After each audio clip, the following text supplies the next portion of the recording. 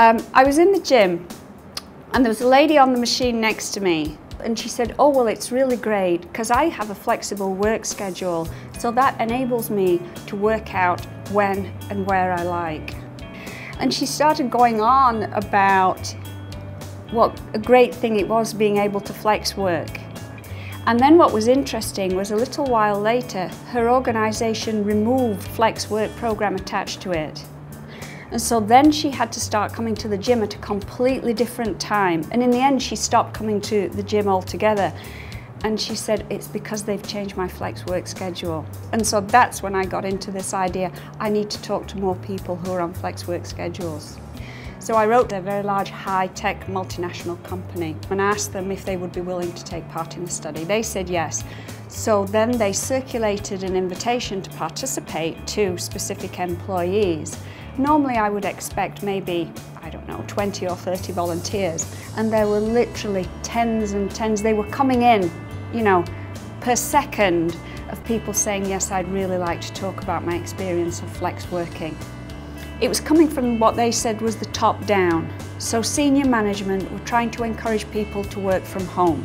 But also, I think we have to be careful not assuming that the organisation is doing it solely for cost reasons.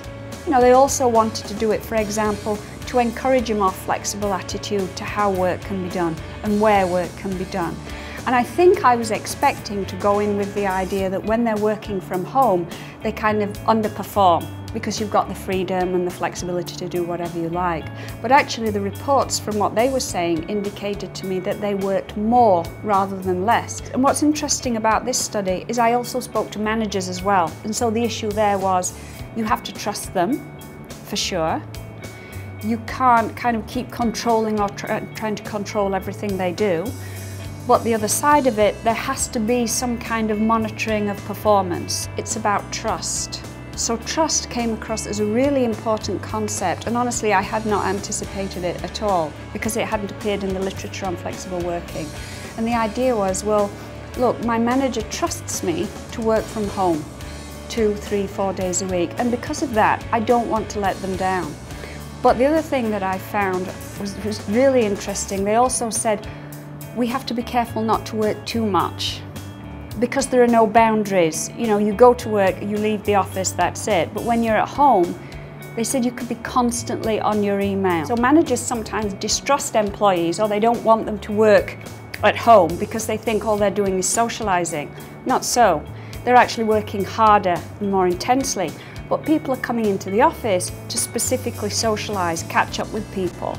There was one person and she said to me, she actually goes into the office, into the canteen, to be seen. Because she said one day she was in the canteen and the VP of marketing was in the lineup behind her. And he said to her, why don't I know you? So sometimes she would say going to the office, I don't know, three or four days a week just for lunch. We know that networking is super important. You know, the impact of who you know, creating networks at work, and also, you know, meeting people, finding out about career opportunities elsewhere in the organisation and so forth.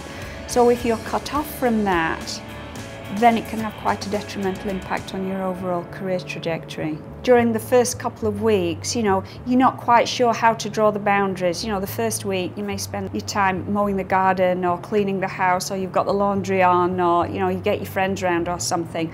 But then after a little while, they came to understand, I really need to get my head around this. So for example, because they didn't have to travel into work, they would get up, maybe do an hour's work or perhaps get the kids off to school.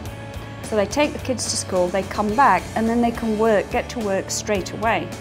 And then the kids come home, say four o'clock from school, and then they'd help the kids with the homework, the kids go to bed, and then these people would start again with their work, perhaps at six or seven o'clock in the evening, and work right through perhaps till 10 or 11 in the evening.